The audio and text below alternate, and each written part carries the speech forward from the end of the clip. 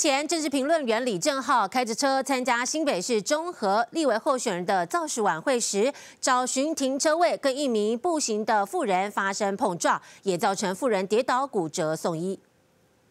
黑色上衣、白色下半身的妇人走过路边，一辆白色修旅经过，短短几秒钟的时间，妇人随即重摔倒地，撞到路边围栏。警方发现后，随即小跑步，立即上前关心。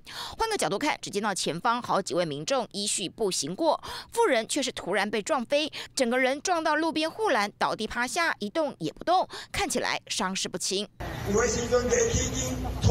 救护车到场，妇人被抬上担架，附近目击民众相当焦急。但背景音却是相当热闹。这事故就发生在造市场附近，而肇事的竟然是政治评论员李正浩。一个当立委，一个当市议员。两个人的薪水加起来一个月三十万。时常在荧光幕前出现的他，事发五号晚间七点左右，他要到新北市中和参加民进党立委候选人的造势晚会。沿着胜利路穿过人潮时，一时之间没注意擦撞妇人。